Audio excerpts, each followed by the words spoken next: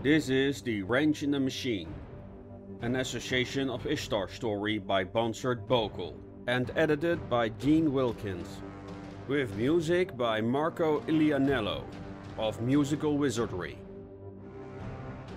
Chapter 1 Good morning, Dover. I'm Frank Dimbleby of the Dover Public Broadcast. This news bulletin is provided by the Kent News Network of the 7th of May, 1875. It's one minute past eight. Some of today's highlights the discussion on the expansion of Kent's rescue services, the controversy around the proposed Home Army Bill that is about to enter Parliament, finally, a debate on the question is our entertainment being weaponized? This discussion was sparked after a reviewer of the London Journal accused a London playwright's latest stage play of being signalite propaganda. But first, more protests at the Autocrab main office after the company announced the expansion of its space program. The protesters claim the weaponization of the rockets is inevitable. They display drawings of Napoleon I throwing R2 rockets at England with the phrase never forget. More demonstrations have been announced, including one near Pendleton War Park Memorial in Dover. Excuse me, our producer just came in with a special bulletin. This is just in. The Dover Borough Police announced the Dover Priory Railroad Station has been locked down.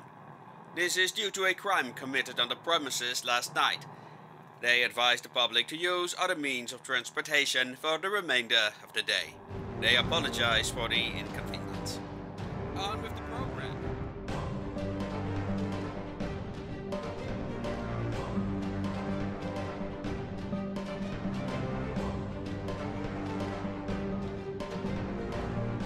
The rhythm of galloping hoofs slowed down as the coach pulled in in front of the Dover Priory Railroad Station. As soon as the carriage came to a standstill, the door swung open, and Inspector David Alborough stuck his head out of the tobacco-smelling coupe and coughed. As he got out, he breathed the spring air in through his nose and sighed. It was a breezy morning after a night of light rain, and the aromatic smell of wet fauna drifted in the air. But the moment Alborough began to move, he felt clammy, and the sunlight revealed the unkempt state of his brown tweed waistcoat. Inspector Bixby followed him outside, ready to produce another cigarette, despite finishing the last one just moments ago. Alborough did not mind his younger colleague's smoking habit that much. It was the stale smell of smoke that bothered him. As Alborough brushed the fluff of his vest, a young, well, to the inspector's standards anyway, dressed in a blue, lean-necked police coat approached him in a huff. Alborough addressed him first as was his custom. Morning, Derby. What do you have for us today? The young officer saluted and gave his report. Morning, sirs. It's a weird one. Two Seps dead, both night watchmen. They're cut up bad by the maniac, but that's not the weird thing, he added ominously. A double homicide is not good enough, asked Bixby. You better see it for yourself, sirs, Derby said, nodding his head slightly, and walked away like a young boy who was about to show something off.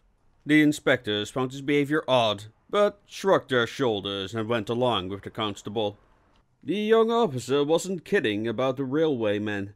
Their lifeless bodies were found beside a train that was scheduled to be unloaded that very morning. Both victims were elderly guards, merely present to be a deterrent against criminals at night. Now they lay there, in the same position as the moment they were slain. Quite efficiently so, or so Alborough thought. Derby explained the situation. Barry Wilts and Jonathan Slober, aged 75 and 86, worked for the LCDR for several years now, started working the night shift a few years back. Meanwhile, Alborough looked at all the signs. The men were killed where they stood, Wilts had been stabbed through the throat with such force his back was pressed against the sides of the railway carriage and left a trail of blood on the rough boards as he collapsed. Mr. Slober had dropped to the ground in fright. Alborough imagined the poor man looking up at his murderer as he tried to shield himself with his arm, which consequently got severed at the elbow. The limb got slashed with such force it lay six feet away from the body on the terminal floor. Then Slober was stabbed several times in the throat and chest, as if he was a pin cushion. Alborough bent his knee and inspected the severed arm on the terminal floor, still clutching a handle of an electric lantern. The cut seemed clean, surgical even. No axe could have done so without rending the flesh. There was just too much force to be applied for a knife. A saber, perhaps? The inspector still found this unlikely. Squatted, Bixby carefully observed his quarry, Mr. Wills. One straight horizontal step through the artery and went straight out the back of the neck, right into the panel behind him, Bixby remarked as he rose to his feet. Then he pointed out the deep cut mark in the sideboard near the top of the blood trail. The murderer severed the spine, looks like. That rules out an axe, groaned Alborough, and raised himself. Bixby, look at the distance between these bodies. His colleague took position between the corpses and spread his arms wide both in arm's reach. Seems a bit neat for an ordinary criminal, he concluded. I suppose the victims found the trespasser, approached them, and once in reach they were attacked. Indeed, said Alborough, looking at the severed arm. They were too close together to be stabbed by a saber like that, and the murderer couldn't have looked that threatening if they approached him voluntarily. He carried a concealed weapon, then, Bixby thought out loud. How about a butcher's knife? Alborough considered it, but shook his head. The puncture wounds look too narrow. Maybe the coroner can come up with something. Alborough turned to the young officer. Constable Derby, anything taken? Like wallets or badges? No, sir, nothing's missing, the lad answered. Not even from the cargo inside the wagon, we think. Alborough looked at the open carriage door beside the body leaning against the carriage. Is that what you wanted to show us? The constable nodded, gesturing them to follow him. What they discovered inside the cargo hold was indeed something to behold. Cold fumes arose from within the crate as the inspector stared at the body curled up inside. Above it, scratched crudely inside the interior of the lid, was a number 54. Bixby stroked his fingers through his hair. This is indeed something you don't see every day. Indeed murmured Alborough, distracted by the number scratched inside the broken lid. The fact it was just a number was ominous enough, but for some reason it had a stripe struck through it, like a notch on a gun handle. The many scratches that comprised the numbers had been carved vindictively into the resin, which was in stark contrast to the neat executions outside. What do you think it means?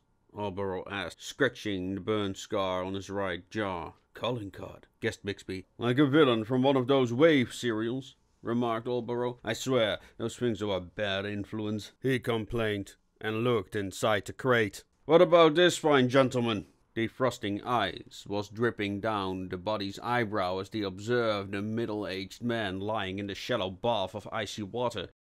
Alborough concluded that the man was probably a working-class stiff, no pun intended, the inspector based his assumption on the worn and old-fashioned clothes the victim was wearing, not that dissimilar of his own. A broad, purplish line around his throat betrayed he was hanged before being stuffed in there. The inspector laid his hand on the smooth, yellowish sides of the crate's interior and scanned the surface with his fingers. The lid, which was laid discarded on the ground, had a similar inlay. It felt similar to amber resin, but more flexible and without the discoloration. What are the sides made of? Uh, plastic, I suspect, responded Bixby. Utter crap claims plastic will replace amber resin and most metal alloys in the next twenty years. Bixby was always on top of new developments. Maybe it was just his generation, hooked on wavecasters and eager to hear what could await them in the future. Alborough knocked on the plastic with the knuckles of his index fingers. It produced a hollow sound. It's probably a vacuum in there, Bixby continued. It's how the contents remained frozen until the murderer broke the lid.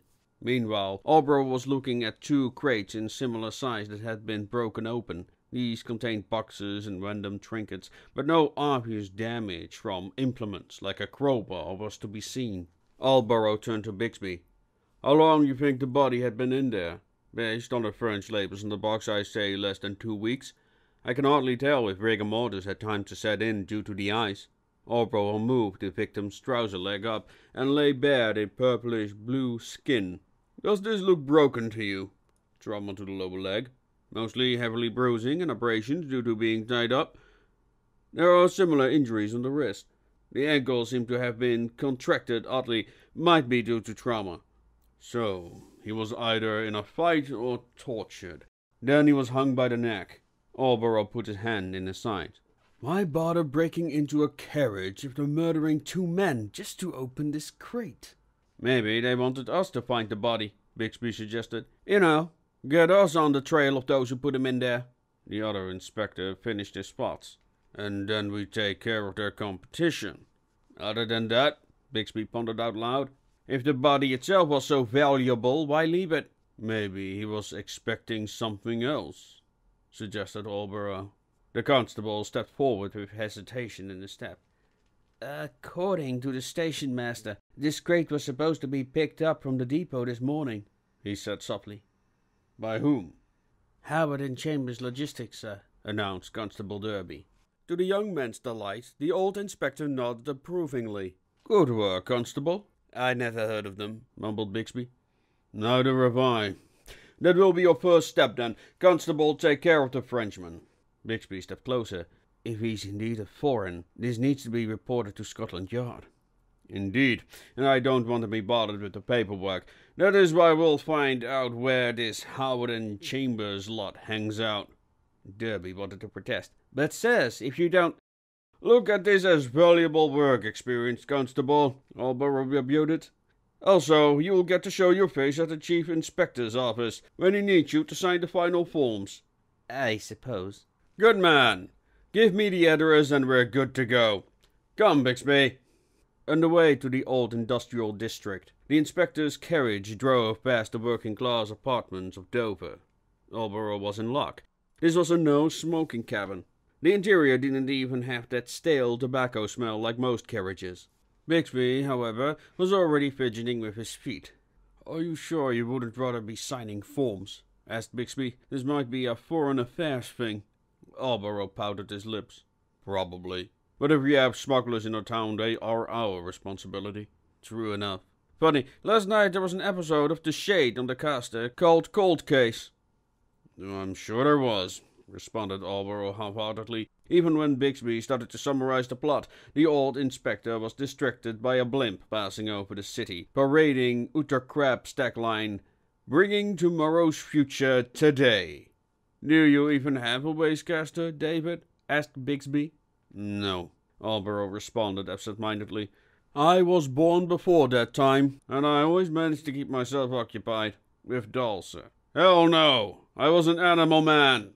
Alborough announced proudly. I preferred the wilds and the sensation of the wind on my face as I rode around on my hobby horse with a pen on my head like the knights of old. All of a sudden he felt an unexpected sense of melancholy. But one day I realized I had no idea where I left that hobby horse. My father made it for me and I just forgot about it. When I recalled the horse I just... The inspector changed the subject.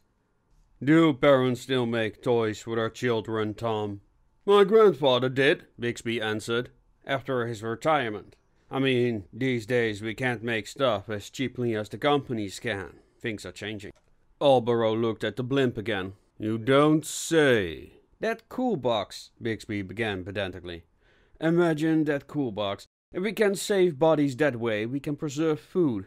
Did you just use the word food and body in one sentence, Bixby? Well, he muttered, caught off guard. You know what I mean. The coach slowed down as the driver announced. This is as close as I can get, gentlemen. This place is a mess. Abandoned crates and jungle everywhere from here on out. How come? Bixby asked as they got out. Lots of abandoned warehouses and closed down companies. They just left their wares on the street. Another score for progress, I assume, mumbled Alborough. You know anything about Howard and Chambers by any chance? The driver seemed surprised by the question. Just by the name, sir. But I never seen them around, if you catch my drift. Alborough nodded. The statement confirmed his suspicion that HNC was probably just a front. Because Dover was the gate to England, there was no shortage of such companies. The government, on the grounds of liberal principle, didn't allow the police to perform invasive investigation into private property. Not until somebody complained anyway, so these fronts could flourish. As the inspectors entered the district, they realized the driver wasn't kidding either. The alleys, originally intended for freight transport, were cluttered with abandoned wares and rusting devices. Some warehouses were converted to workshops occupied by craftsmen who obviously didn't require all that space, but the building owners would take on any tenants at this point. Finally, they found it an unremarkable warehouse with a large sign in front displaying Howard and Chambers Logistics. It had an entrance gate for a single wagon and a normal door beside it. The paint had started to flake off the weathered brickwork, but other than that, the building didn't seem in too bad a condition. Alborough knocked politely on the plain door and waited. There was no response. Alborough knocked again. This is working hours, Bixby complained. They should be in. This time Alborough slammed his fist on the door. Anyone there? This is the police. We have questions for you. Allow me, Bixby said when no reply came. With a loud thump, the inspector knocked down the door and broke it off its hinges. Oh, bloody hell! he cried, kneeling forward. Be careful, Inspector, Alborough grinned at his colleague's expense. I'm not the only one growing older. Alborough's smile disappeared when he heard a child giggle in the distance. Just help me up, will you? I hurt my knee. Bixby cringed. Oh, right, Alborough responded, distracted, and aided his colleague. You heard that? Heard what? He listened for a moment. Never mind, said Alborough, while looking around the hangar. Everything seemed to be in order. Stables, a shaft, a pulley system for loading and unloading, a staircase to the attic. It didn't appear in disuse. But there was no obvious cargo either. Looks empty to me, Bixby stated while brushing himself off. I can see that. It's probably a front, just to move somebody. Seems a tad extreme. A loud thump shook the man up, who looked up at the ceiling. It sounded like a box hitting the floorboards. Chins raised, the inspector stared upward. Bixby pulled out his service pistol with his eyes focused on the attic. Who's there? Put that away, man, warned Alborough. Intensely, he observed the planks overhead. Then, from the corner of his eye, he saw a shadow move between the cracks. He glanced at Bixby, who nodded to confirm that he saw it too, and then they moved slowly to the staircase. Come on, we know you're there, said Alborough sternly. Show yourself. We are with the police. Without sudden movements, the inspectors walked up the steps. Carefully, they rose their heads above the floorboards and scanned the attic for any movement behind the sacks, crates, and barrels.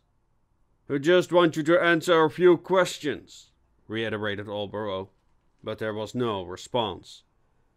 The layout of the floor was simple. At the front end, there was an enclosed office area at the other, nothing but a broken ceiling window just above some stacked up barrels. Too small for adults, but just big enough for a child. Alborough gestured to his colleague to head for the office, and he moved in the opposite direction. This is your last chance. If you keep resisting, we'll have no choice but to. He raised his voice dramatically. Bring you in. Another loud bang made the inspector jump off his feet as the weight of the fallen object reverberated through the floorboards. Startled, Alborough turned around to see Bixby staring at a fallen crate in front of him. Bixby? He looked at him in denial. I swear I did. Sir, behind you! The inspector turned around to spot the shape of a child climbing the pile of barrels toward the broken window. Stop! he cried, and gave chase. But the youngster already made its way to the roof. Stop, you! Alborough yelled again as he climbed the bottom barrel. I just want to. Ah! He lowered his leg as his thigh cramped up. There it was again, that childish laughter. He looked at the window where a small girl giggled at his expense, her hair reflecting bright orange sunlight. You little. He stopped as he noticed a weird reflection in the light of her left eye, like that of a cat. He dashed away. Are you all right? asked Bixby as he came over. I'm fine, he shouted, holding his spy. Go after. I can't fit through that hole, man. The dismayed officers fell silent as they looked around idly. What the hell happened? complained Alborough. I swear, that crate moved by itself, Bixby responded defensively. Alborough looked away in disbelief. I wasn't even close, he reiterated, and relaxed with a sigh. How's your leg? I'm fine, the old inspector grumbled as he staggered toward the office. The door of the room was unlocked, and the officers moved in to inspect the place. It was obvious someone had been staying here. There was a makeshift bed, drawings on the desk of young people with freakishly large eyes, candy wrappers smelling of raspberry toffee lay scattered on the ground. Beside the pillow on the bed there was an old rag doll. It looked a bit impish, with a large oblong head, egg-shaped eyes, and a white-stitched smile. Its fantastical robe, shell-shaped hat, and red mop of hair made him suspect it was supposed to be a witch. Whatever it was supposed to be, he had never seen any toy like it. Now what? Bixby asked. Alborough spotted a note on the desk and picked it up. The moment he glanced at its contents, he squinted his eyes in dismay. The writing seemed to be an odd mixture of Arabic and Gothic letter styles. Any attempts to mumble out the phrases ended up in nothing but nonsensical gibberish. But there was a sentence he did make out, written in forced English handwriting.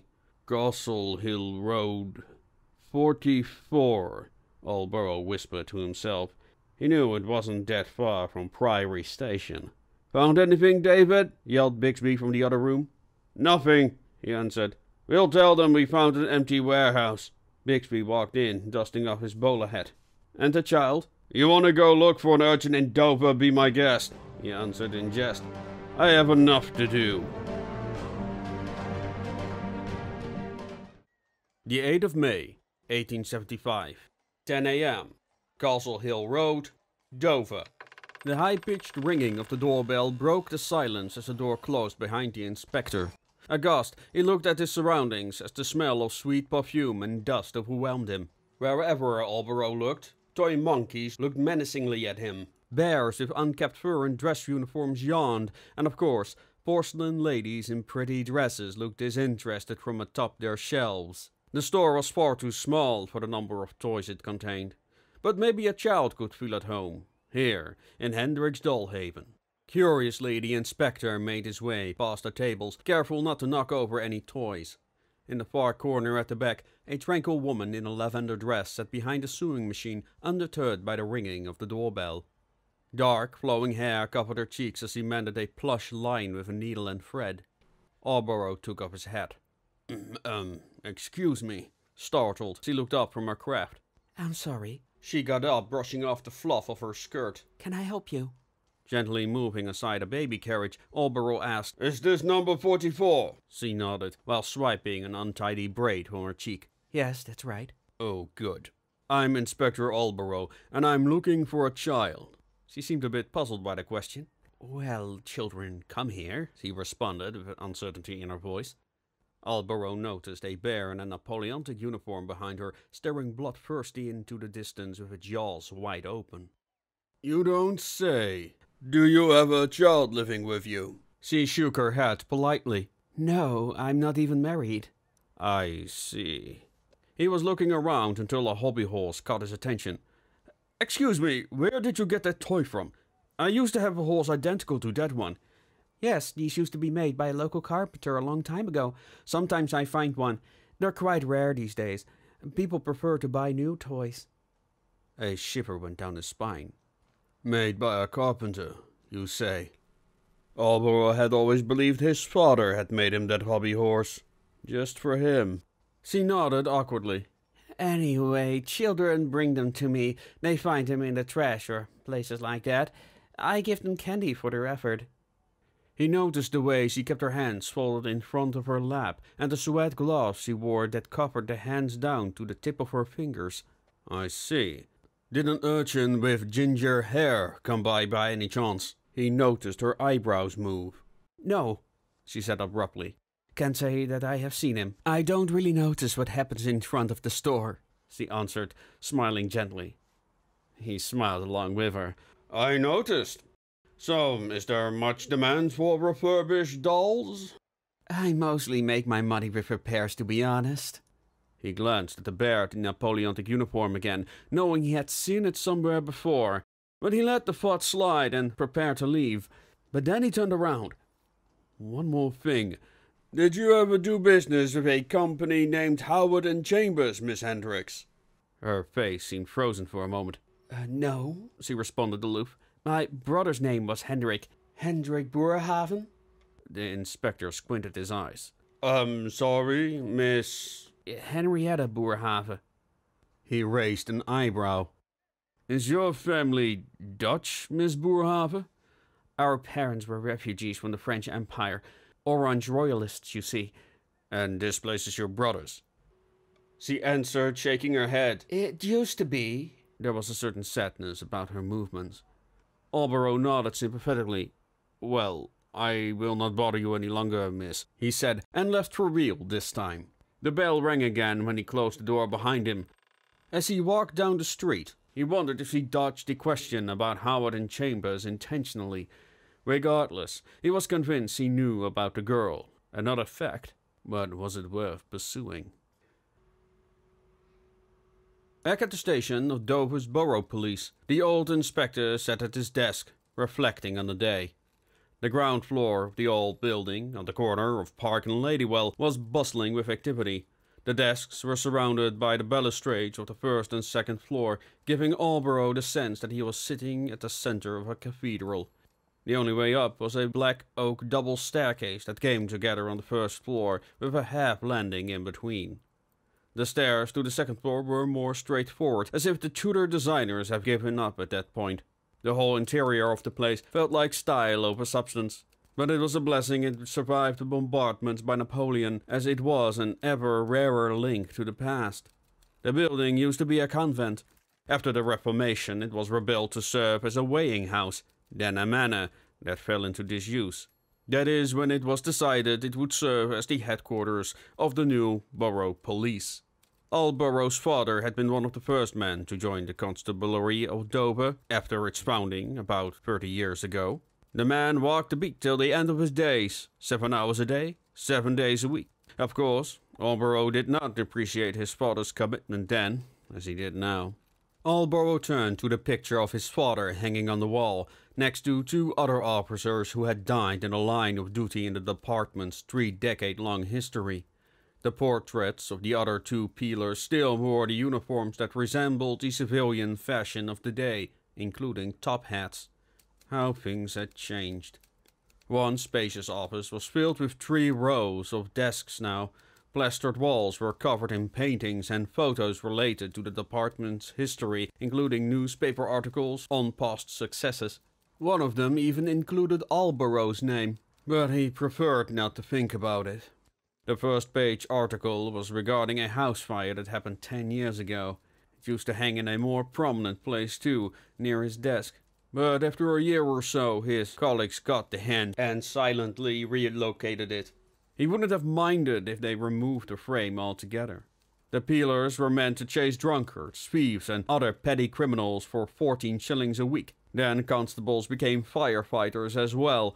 It wasn't a terrible idea, but as the events ten years prior had proven, Dover would be better off with a professional fire brigade, the first of its kind in the country, and was soon emulated in nearby cities like London. Alborough was asked to be one of its founding members, but he hadn't even bothered to reply.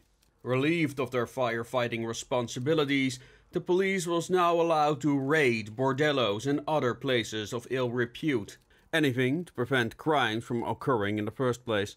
Some new measures allowed them to fulfill their tasks more dutifully, others, well, in Alborough's experience, inventing new crimes just created more criminals. Regardless, the borough police had proved its worth in an ever-changing world. And it was Alborough himself who managed to convince his superiors that he and his peers should wear civilian clothes during investigations, as it made citizens more cooperative. This was during a time when a bobby without a uniform was a big taboo. Yes, he was a hot-blooded man back then. Alborough lay a hand on his belly. He had become a bit of a Mr. Plump since then. With a sigh, he crossed his arms and leaned back in his chair. As he stared at the dark wooden beams that supported the high ceiling, his mind dwelt on the day's events. There was no motive, no witnesses, just an empty warehouse and a mysterious number left on the lid. Fifty-four, he mumbled. I wouldn't put too much thought in that number, said Bixby as he walked past. With a thud, Bixby placed a lunch bag on his desk and dropped himself into a chair. So, where have you been today? Oh, please, Tom. We're not married, suggested Alborough. You didn't tell anyone about the child, did you? Not yet. Why? he asked, before taking a bite of his sandwich. Just a hunch, Alborough mumbled. Tom, have you seen the constable who took care of the crime scene? Yeah, Derby took care of the paperwork and left. No, that was quick, the inspector responded, impressed. Efficient lad, isn't he? I'm sure he reminds you of yourself, senior inspector, jested Bixby. I wouldn't give him that much credit, Alborough sneered, deadpan. Did you find out who owns that Howard and Chambers warehouse? Bixby sighed exhaustedly. I requested the information from the Chamber of Commerce, but they said they're going to be a while. Alborough looked at his colleague. They're having problems with their archival engines again, I'm sure. The only thing those machines are good for is producing excuses. His junior offered him a sandwich. Well, be prepared, Bixby began. The Revenue Service is going to start the mechanization process next year. Alborough took a bite of his sandwich and let the taste of roast chicken with walnut fill his mouth. Well, in that case, he said, mauling his jaws, we might never have to pay taxes ever again. I wish, Bixby replied cynically. Everything is going downhill in this town except my property value. But you know who was on time? he asked pedantically. The folks who pay our salaries? The Metropolitan Police who picked up the Frenchman. Alborough blinked sheepishly. That was quick, he responded, surprised. That reminds me. Found anything about that box the victim was in? Bixby shoved his fingers together. That's a end, I'm afraid. Crates with PVC inlay are already quite common in the kingdoms of the Netherlands. They use them in the fishing industry. About half a year ago, they started using them to transport sea fish by train into the German kingdoms and beyond. Anyone can get one on the continent. Alborough slanted his shoulders and shook his head. Everything is changing so fast it's getting ridiculous. Somebody told me the other day, Bixby began philosophically, if you want to change your line of work, learn to solder. Ever tried getting an electrician to fix your wiring? Alborough ignored it. The Dover he knew was gone. The world beyond seemed to be more alien as well. Then a clear voice pierced the humdrum of the office from the other side of the room. David! Alborough looked over his shoulder to the chief inspector, who stood on the half landing of the stairs, just to the side of his office. Can you come over here for a moment? The sweet scent of pipe tobacco triggered a mild dizziness as Alborough sat unwillingly in front of the chief inspector's desk.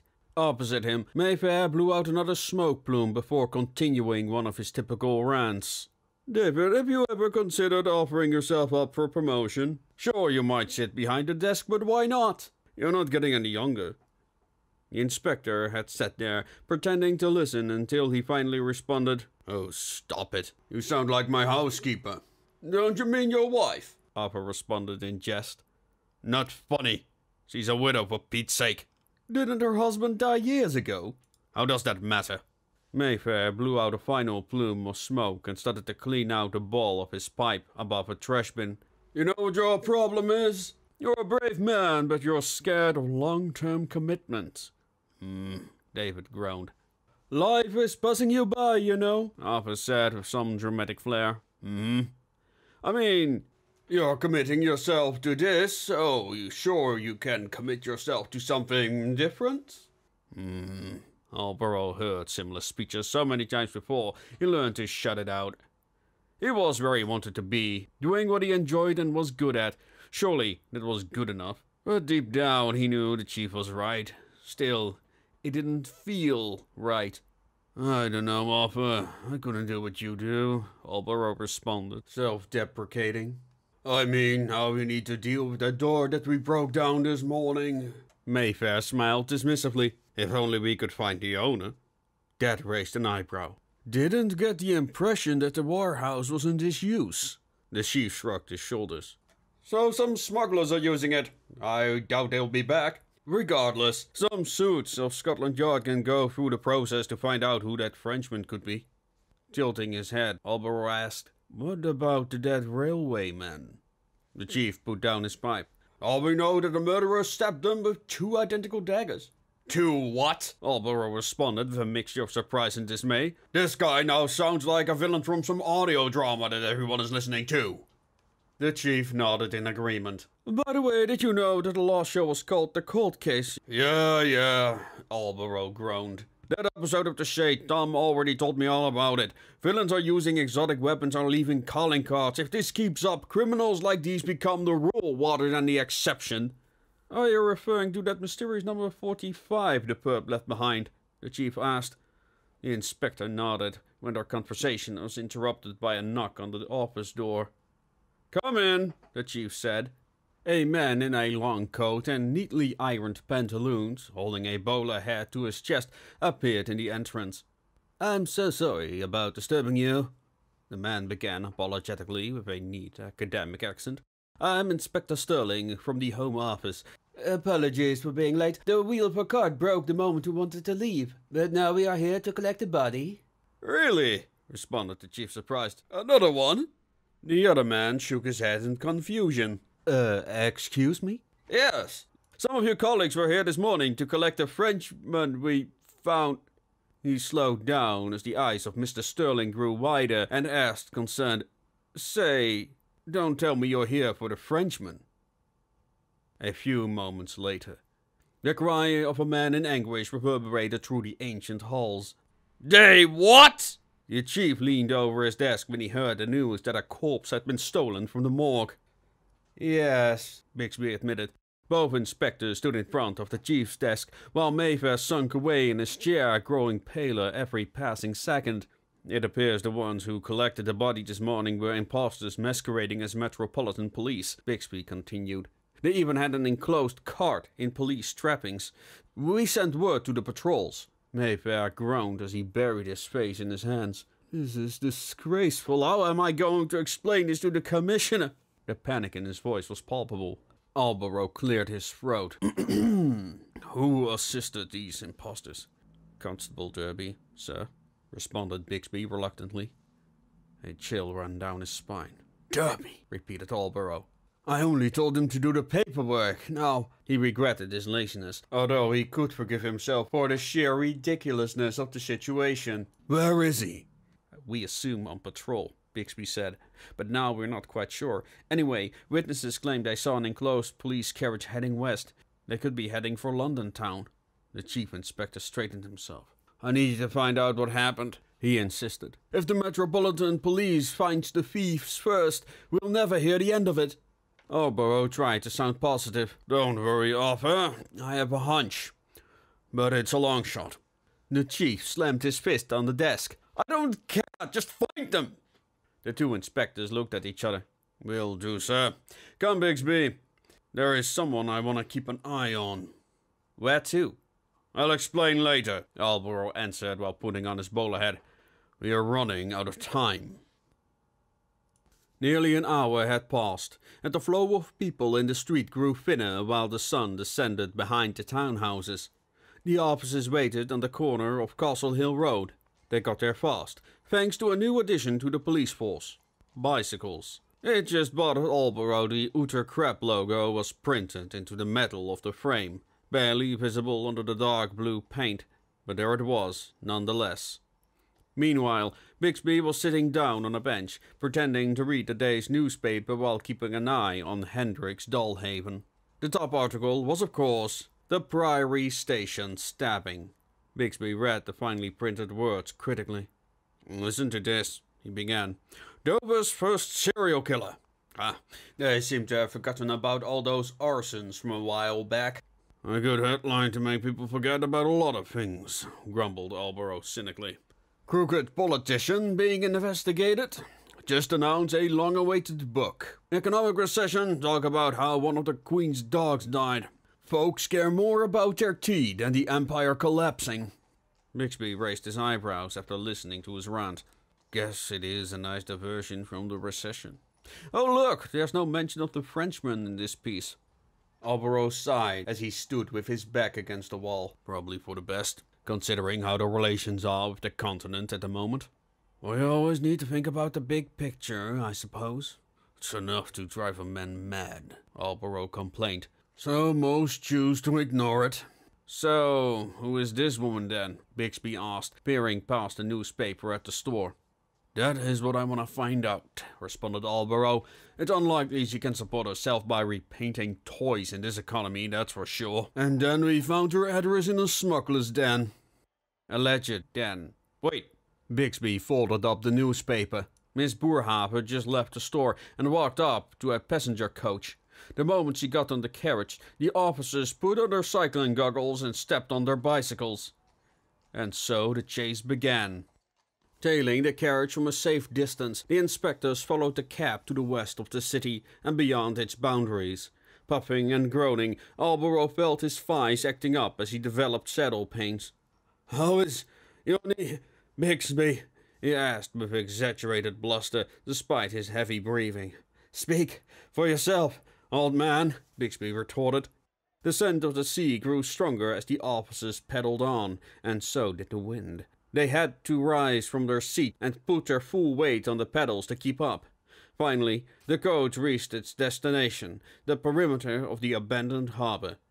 The officer stopped and observed Miss Boerhaave when she got off in front of the gate to the old piers. The brick boundary around the area was covered in soot and bird droppings, and one half of the gate was forced open by vandals. The few people that still worked here cared little for the public property these days, and the sound of industry had been replaced by the cries of seagulls. It was not so long ago this place was rife with activity, but the old docks of Dover could not handle the increasing ship sizes and payloads. Meanwhile, London's harbours expanded, and the companies had taken their business westward. All that remained was a collection of dilapidated buildings at the dead end of the rail tracks, being eaten away by the salty sea wind. Quietly, the officers followed Boerhaave from a distance as he paced up to the yard. Here, the workers used to maintain the cranes and other machines that moved up and down the rails by the pier. Careful not to take any risk, the inspectors took their time approaching the complex. The large buildings consisted of riveted cast iron beams that supported the sloping roof. Beside the wall, in the shadows of the depot, the peelers spotted activity. From behind a fence, the officers observed how two men were hastily painting the exterior of an enclosed coach black over police blue, while the horses were patiently waiting in place. They quickly concluded this had been the vehicle that carried away the Frenchman's body. Alborough inspected the coach in more detail. It seemed like a typical car used for moving cargo, but it seemed remarkably close to the ground. Reaching for his service revolver, Bixby remarked, I think we found them. There could be more, warned Alborough. Let's avoid them for now. Moving from rust-brown container to container, they entered the roofed area. Overhead, between the rafters remained some of the chains, cranes, and platforms that were used in machine maintenance. On the tracks stood a small steam locomotive, still attached to some carts it used to haul around the area. Made Alborough wonder if Dover was doing so poorly it couldn't even find work for such an engine. Beneath the depot's roof there was another structure like storage rooms and small terminals. One of these was a single-story building that might have belonged to the management staff. Here, behind a window on the ground floor, burnt a faint light that attracted their attention. Are we just going to barge in? Bixby whispered as they moved closer to the structure. No, I want to see for myself what they're up to, Alborough said, and glanced around the corner of the entrance. A grainy tune played in the background as they peered into what appeared to be a locker room. At the back, there were two doorways, one led to a cafeteria of sorts with two large tables and a bench covered in grime. The other appeared to be a small office space with its furniture trashed. Quietly, they went inside. Despite the static laden music, reverberating voices were audible from a room beyond the cafeteria. Some men and a woman. Oh, look! Bixby pointed at the wireless device on the cafeteria table. A genuine utter crap Mark II, he remarked pedantically. That thing could be as old as I am. Thank you for that, Alborough responded apathetically as he observed the interior. From this angle, he could see light coming from another room, but not the doorway itself, just the shadows that moved across the floor. As Alborough looked over his shoulder, some light spots were being projected on the surface of a locker door. He checked the small office space. It turned out there were several holes in the wall there, left by the looters, presumably. Alborough went inside and pressed his face against the moldy boards. His open eyes struggled to adjust to the bright light as he peeked inside the chamber at the other side of the barrier. The space was arranged like a makeshift operating room. Beside the table was a standing lamp, its light focused on the shaven head of the missing Frenchman that was mostly covered up by a blanket. Alborough reached for his notebook and penned down his observations. He heard Boerhaave speak from beyond the line of sight of his pinhole. You're taking too great a risk, she said. The woman did not sound as gentle as back at the store, but it was most definitely her. A man responded with a loud laborer's voice that was accustomed to talking inside a factory. The longer you're going to complain, the longer it's gonna take. Just take it out. An inspector came by today, she said. He seemed shocked. And? Miss Boerhaave stepped into view with several implements in her gloved hands. And nothing she answered, while laying her tools on the table and inspected a small rotary saw. What? Just a casual visit? They were looking for a pickpocket. Alborough frowned at that statement as he watched her pluck the cord into another device.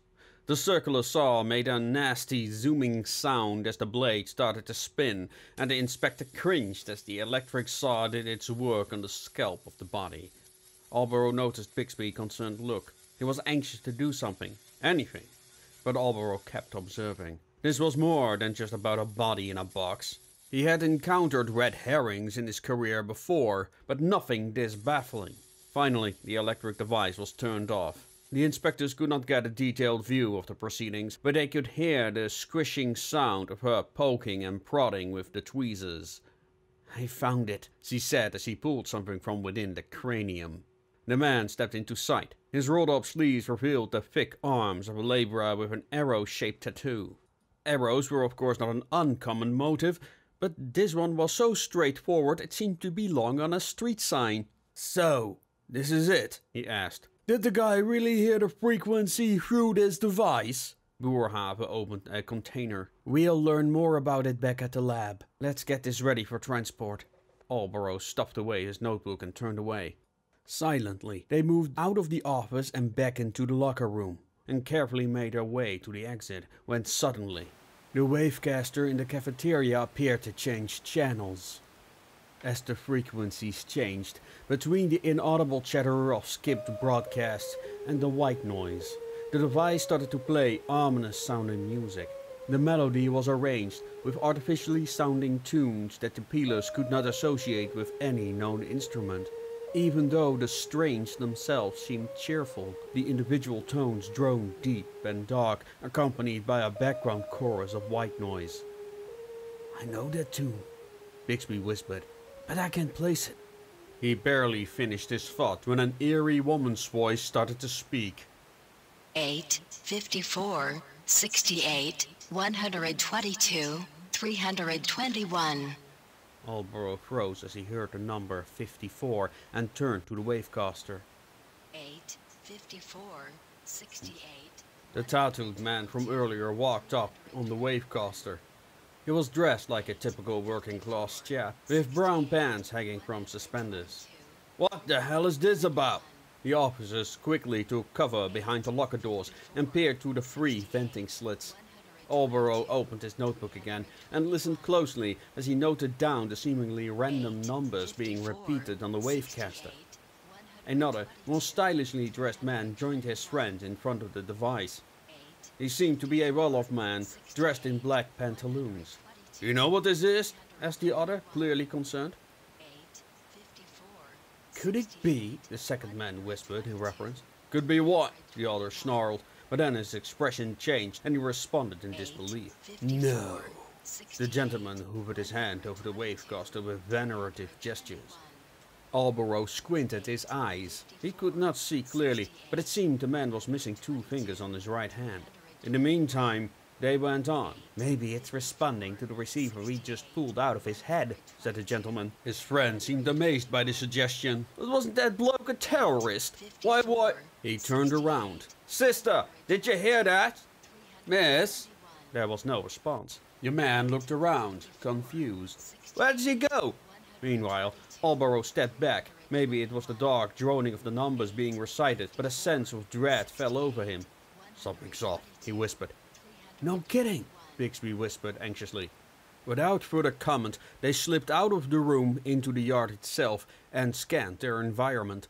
The descending sun had tinted the environment orange, and long black shadows shrouded the depot's interior. Alborough froze when he heard unfamiliar sounds reverberate among the rafters above. As he looked up, one of the heavy chains swayed from side to side, while the other ones remained motionless, as if frozen in place. There was no way that could have been the wind. Let's get out of here, Alborough whispered to Bixby. They barely stepped outside when a scream cut through the silence. They turned around and looked around the corner of the door opening. There, on the cafeteria floor, they saw the legs of the man in black pantaloons lay motionless on the floor. Bixby's voice quivered. What the hell? Alborough grabbed him by the shoulder. Let's get on with it. Scared out of their wits, they hurried across the depot ground, jumping over the tracks as they did. While on the run, they heard the rumbling noise of horse and wagon approach at an alarming speed. To their astonishment, the coach from earlier sheared past at a reckless velocity, leaving the scent of fresh paint in their wake. And yet, the driver cracked the whip to make the horses go even faster. Alborough's heart skipped a beat when the rampaging cartwheels collided with the sides of the rail tracks, bending the steel axle. What on earth is happening? Bixby lisped. Alborough, not even bothering to respond, ran toward the red light of the setting sun, just past the locomotive, when suddenly a shadow moved just beneath the roof. Startled and out of breath, they looked up at the rafters. Did you see that? asked Alborough. Producing his sidearm, Bixby nodded as his gaze scanned the ceiling. The inspectors both faced the same direction when suddenly a banging of colliding metal pierced their ears. Cast iron links rattled overhead as a shadow descended down from a chain. With the grace of a trapeze artist, a tall female dropped down in front of them, her knees folded up at the moment of landing, and the sides of her tailored coat elegantly draped themselves around her female form. Then she rose up effortlessly, as if the impact meant nothing to her slender frame. As Alborough was blinded by the light from the red sun behind her, it was hard to distinguish her face, apart from the outline of her thin features and silvery hair which hung down her shoulders. The inspector got distracted by the numbers tattooed in her neck. It wasn't a single series of numbers either, but many running down her chest and shoulders, some of which seemed crossed out. Who are you? was Alborough's involuntary response. There was a strange clicking noise when she tilted her head. Her squinted eyes had a blank expression not unlike the doll's at the store, but beside those eyes was a faint spark of curiosity. Bixby stepped forward. We have the police! You are interfering with an investigation! The corners of her mouth curled upward with joy as two flashes of steel appeared from atop her wrist with such speed Alborough could barely register what just happened. Don't move or I'll shoot! screamed Bixby, but she came at them regardless. Alborough stepped between them, but was ruthlessly pushed aside, toppling him. As he hit the ground, two deafening shots reverberated through the depot. Alborough shifted his eyes as his ears were ringing, but it was already too late. The woman leaned against Bixby, who had his back against the locomotive. She looked the man in the eyes whilst her blades pierced his chest, and blood ran down his waistcoat. In a flurry of panic, the inspector drew his weapon and pointed it at the assassin. But as he was about to pull the trigger, she stepped sideways with such speed her form became a blur. His trembling hand tried to follow her, but she already lunged at him. A cold, shearing pain went through his fingers. They were gone. Blood ran down his arm as he stared at his maimed hand with a mixture of disbelief and dread. How could this be happening? Struck with a sudden flash of reality as he lay there, Alborough looked up into the woman's reflective eyes. He couldn't help but stare into her eyes that gazed at him with delight in his suffering. Why?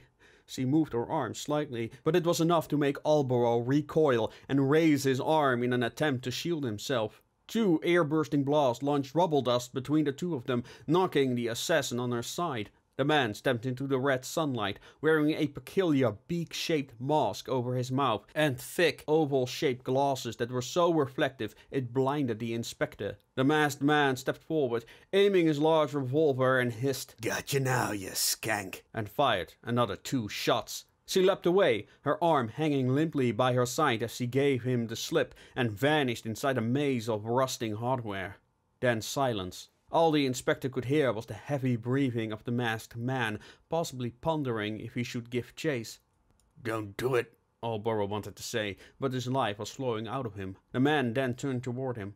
He was dressed strangely, baggy trousers bound at the shins with spats, a tight-fitted leather jacket, and that mask that seemed to belong to a character from a Penny Dreadful cover. Alborough tried to scramble up while he peered into the man's oval glasses. Even in the twilight, he could make out his own reflection in the silvery shade. Who are you? What was she? Alborough mumbled. Associate 212. As the man kneeled down, his glasses reflected Alborough's paling face. Worry about yourself. He responded with a muffled voice. Bixby! Alborough looked sideways. Bixby sat with his back against the locomotive, a trail of his blood staining the boiler behind him. The old inspector lost all feeling in his arm as darkness encroached on him. Not like this. He stammered as the sun turned into a black disk. I have things to do. I need to live. What are you up to now? asked a heavy, familiar voice. While you're laying there. Why do you care? You have been skipping school again, haven't you? So what? What? What? What? What? What? You have been listening to the first chapter of The Wrench in the Machine, an association of Ishtar story by Bonsard Bokel. We hope you enjoyed this presentation. The Wrench in the Machine and its prequel comic, S36, The Call Girl, is available on your usual online stores such as Amazon. The Association of Ishtar is a collection of science fiction, steampunk, and Lovecraftian stories set in the multiverse of the Association of Ishtar, which are freely available online for everyone to read.